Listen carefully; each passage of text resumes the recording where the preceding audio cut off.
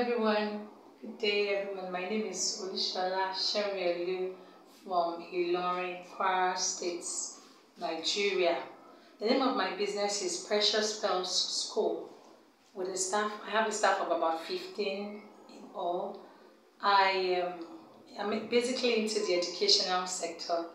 I head the school, run the business for about nine years now. I Ahead of PAWEN Online, I saw it online I decided to apply for it.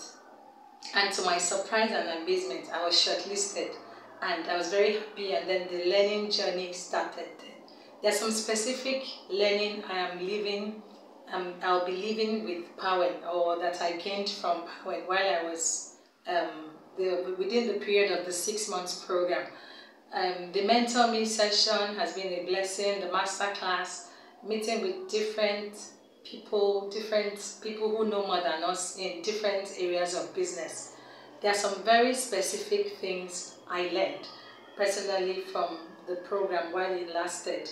One of it I, that was um, a take home for me was attracting and managing employees, um, learning to retain my staff, how to relate with them, things that they need, I needed to live into as a human resource person I learned that I don't um, have to be a human resource person per se to be able to learn to treat others well. And that's where, where, where my business was before. Yes, I have a formal relationship with most of my staff, but I learned to be more cordial. I learned to look out for things that they like. I learned to look out for how to give incentives from time to time from them.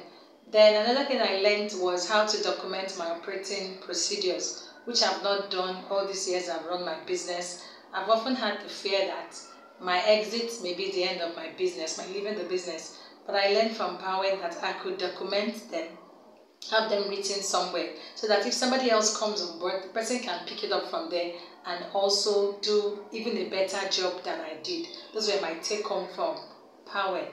And then um, I also want to give a special thanks to my coach, um, during our where we were split into groups and we were made to have mentors.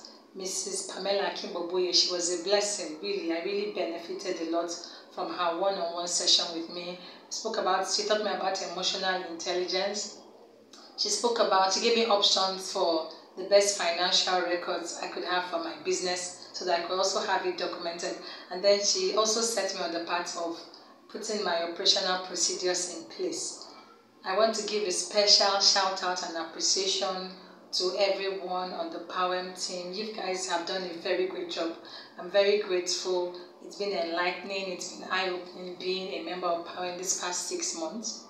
I also want to give a special shout out and thank you to my coach, Mrs. Pamela Kimboboye. She did a very great job with the few weeks or two months we spent in her, with her in all. I'm very grateful I pray that God will continue to move PAWEN forward. Thank you.